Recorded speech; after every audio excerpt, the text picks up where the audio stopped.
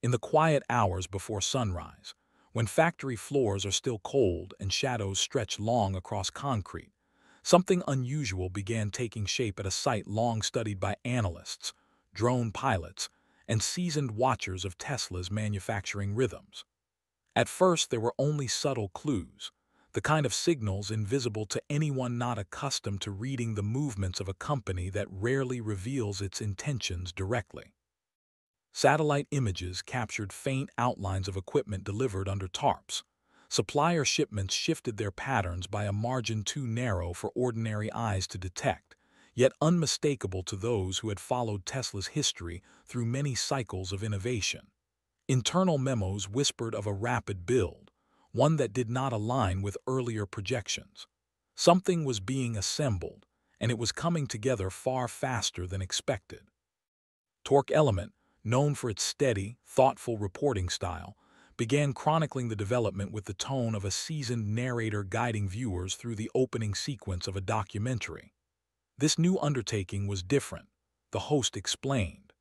Not because Tesla was building another production line, but because the one rising now was designed with a specific purpose, a specific audience, and a specific philosophy that stretched across generational boundaries.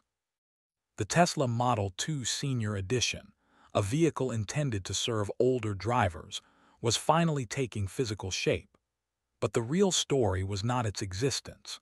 The real story was the velocity behind its creation, a speed so unusual that it sent ripples through industry watchers who understood that automotive manufacturing rarely moves with such urgency.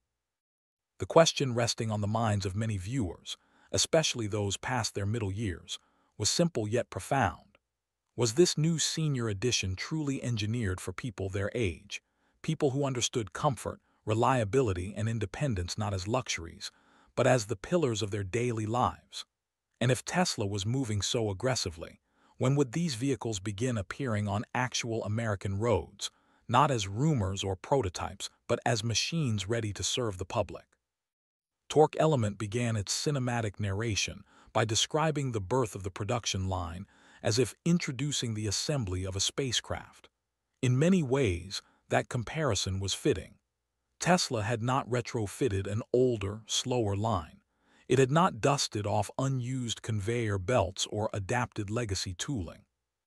Instead, the company had created a hybrid style of manufacturing that blended linear flow with modular cells, forming a network of interdependent stations capable of isolating errors, absorbing shocks, and continuing operations even when one section required recalibration.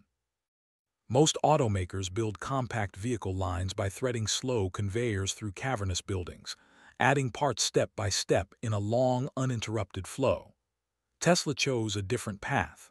It built a chain of five interconnected modules, each capable of functioning independently, each buffered by micro-holding zones that kept the line alive even when one part paused.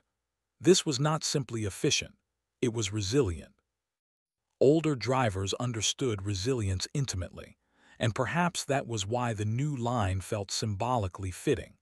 It was engineered to endure interruptions without breaking rhythm, to adapt to stress without collapsing, much like the people it was ultimately meant to serve. From the cinematic perspective of Torque Element's narration, the heart of this line appeared almost like a set piece from an industrial epic.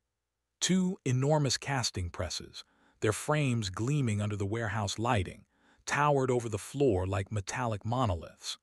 These presses were crafted by a company long known for supplying tools capable of shaping metal with forces so immense they bordered on the mythic. Each press rested on reinforced foundations layered with vibration-dampening plates, allowing them to operate at extraordinary speed without destabilizing the surrounding equipment. Instead of welding together hundreds of individual stamped parts, a practice that defined the automotive industry for generations, the presses collapsed those hundreds of components into two enormous casted structures.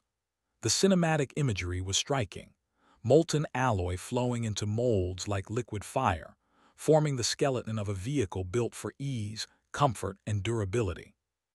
The alloy itself had been gently reformulated, its brittleness subtly reduced, its flow dynamics improved, and its unnecessary weight trimmed away with almost artistic precision. The castings cooled into shapes smoother and stronger than the arrays of pieces they replaced, each one forming a cornerstone of a vehicle that promised to serve its owner with longevity. From there, the line flowed into a robotic machining corridor, a narrow metallic passage where precise arms moved with a choreography that felt more like dance than manufacturing. Fans, cutters, and drills shaped mounting points, smoothing edges with motions so clean they barely seemed mechanical at all. The corridor, significantly shorter than those used by European rivals, reflected Tesla's commitment to minimal travel distance. Every meter saved translated into a reduction in production time. Every reduction in time translated into a capacity increase. And every capacity increase brought the Model 2 Senior Edition one step closer to reality for the older drivers awaiting it. Torque Element lingered on this portion of the story with deliberate depth, knowing that many viewers had spent lifetimes watching industries evolve, expand, and occasionally crumble. They understood craftsmanship. They understood assembly. They knew what it meant to reduce waste, improve precision, and build systems designed not for flashiness, but for endurance. After machining, the cinematic camera of Torque Element's narration moved to the battery integration zone, illuminated by the glow of synchronized lifting arms. Tesla had not adopted the wide-deck battery approach common in previous models. Instead, it used a narrow pack design that aligned perfectly with the Senior Edition's ergonomic interior. The battery lifted into the frame with an accuracy margin so slim it would have been inconceivable to earlier generations of automakers. Because the casted frame was so precise, the battery required no additional shimming, no manual adjustment, no last-minute corrections. It simply bolted into place like a puzzle piece snapping perfectly into its home. Then came the section of the line that defined the senior edition's personality more than any other, the ergonomic cabin module. Older drivers often describe comfort as more than softness or luxury. To them, Comfort means ease of movement, reduced strain, reliability, patience. Tesla embraced this truth by building a cabin module that existed as a complete block before entering the frame. Hinges with lower resistance. Seat rails that opened wider. Door mechanisms that required less effort. A softer load glove box designed for people whose joints may no longer bear weight the way they once did steering linkages tuned for smoothness rather than aggression. Torque Element described the module's installation with cinematic reverence, comparing it to the gentle fitting of a pressurized module into the body of an aircraft. The cabin slid into place in a single robotic movement, ensuring consistency across thousands of vehicles. For an older demographic, consistency meant trust. Trust meant independence. The documentary tone deepened as Torque Element explained the modular configuration of the entire production system. If one module faltered, the others remained alive. If one section required recalibration, the line could continue in partial throughput mode rather than collapsing altogether. This flexibility allowed Tesla to maintain pace without threatening quality. The approach was elegant, strategic, and undeniably disruptive to legacy automakers still constrained by traditional conveyor architecture. Then, as the documentary progressed, the focus shifted from manufacturing mechanics to chemistry, the unseen force that would shape the vehicle's soul. Torque Element approached the battery strategies with the tone of a historian, chronicling an era of scientific transformation. Tesla appeared ready to deploy not one but three different battery chemistries. The backbone would remain lithium iron phosphate, a chemistry known for stability and longevity. The packs would be modest in energy, enough to meet practical range expectations while prioritizing safety and life cycle. Lithium iron phosphate was a chemistry older drivers could trust. It did not degrade quickly. It tolerated thousands of cycles. It aged gracefully. The second chemistry was sodium. slightly lower in energy density but dramatically more resilient in cold weather, an attribute long appreciated by drivers in northern climates. For older individuals who disliked the unpredictability of winter performance, sodium offered a kind of reassurance that no number on a spec sheet could fully capture. The third chemistry belonged to the realm of early experimentation, aluminum. Though not ready to power entire vehicles alone, aluminum cells displayed near-mythical recharge speeds in controlled environments. Tesla's approach appeared strategic. Instead of relying fully on aluminum, the company seemed to be preparing a hybrid layer, an auxiliary module that could recharge almost instantly during errands, providing short bursts of range for daily tasks. Torque Element narrated this with a sense of intrigue. Not excitement, not hype, intrigue, because intrigue was the emotion older viewers understood best. They had lived through decades where claims were abundant and proofs were rare. This approach, thoughtful, cautious, experimental, felt grounded. As the documentary unfolded, the timeline analysis began. Tesla followed patterns, predictable in their unpredictability. When a line entered calibration mode, it often took roughly a year before full production began. Historical comparisons to major model launches offered clues.